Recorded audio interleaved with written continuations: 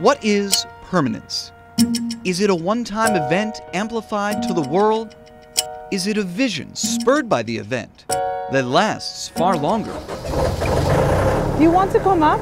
Yehimi Cambrón paints through the rain, submerged in Super Bowl signage. Murals are so massive. It's like it's something that could be there forever. Her mural is a minor miracle.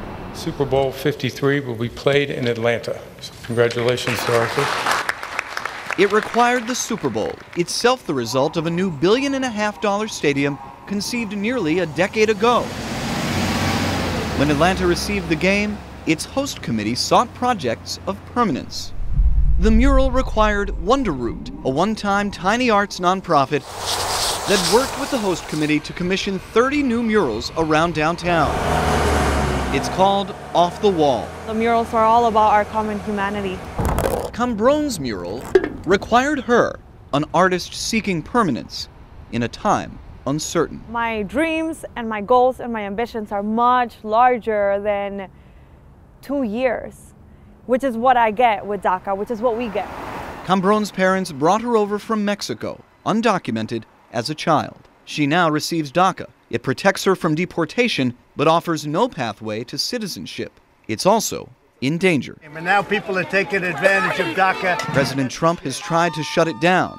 Thus far, the courts have blocked You're it. heading out. Cambrón is safe currently through the summer of 2020. It's kind of like living in a state of limbo. And so when it comes to my artwork and my role as an artist, like creating is the one thing that will not change.